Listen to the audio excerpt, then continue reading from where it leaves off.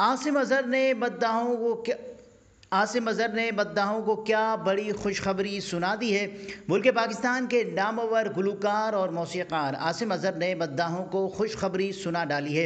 Instagram पर हाल ही में आसिम अजहर ने एक मुख्तसर सी वीडियो शेयर की है। वीडियो में देखा जा सकता है कि आसिम अजहर कुछ लिखने में मसरूफ़ हैं और वीडियो के अक्स में उनका वॉइस ओवर चल रहा है।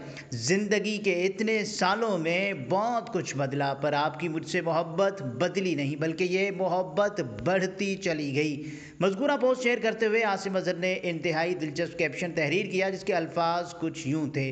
एक नया सफ़र, एक नई शुरुआत, बेमतलब मेरा डेब्यू एल्बम और रिलीज़ होने जा रहा है यकुम मई 2024 को। ये खुशखबरी सुनते ही उनके मद्दा खुशी से पागल हो गए कि उनका बेमतलब नामी म्यूज़िक एल्बम आने वाला है। साथ ही साथ उन्हें मद्दाहों ने कमेंट सेक्शन में दुआएँ देने के साथ साथ ये भी कहा कि हम इस एल्बम का बेसब्री से इंतज़ार कर रहे हैं। वाज रहे गुजशत रोज़ आसिम अज़हर के इंस्टाग्राम अकाउंट से तमाम पोस्ट्स हज़फ होने पर मद्दा शदीद हैरत में मुबतला हो गए थे। आसिम अजहर के सोशल मीडिया अकाउंट पर नज़र डाली जाए तो आपको उनका अकाउंट हर किस्म की पोस्ट से खाली मिलेगा।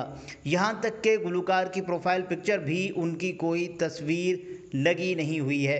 जिसे देखने के बाद मद्दाओं में तशवीश की लहर दौड़ गई, जबकि आसिम अजहर की आखिरी इंस्टाग्राम स्टोरी की बात करें तो वो कुछ इस तरह थी कि ख़ुद को पाने के लिए पहले अपने आप को खोना होता है।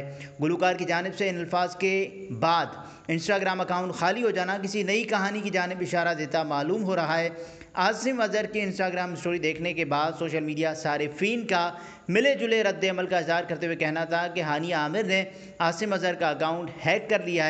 इसी के साथ एक और शारिफ ने लिखा था कि इनका कोई नया गाना रिलीज़ होने वाला है। एक और शारिफ ने लिखा कि हमारा रॉक स्टार कहाँ गायब हो गया है।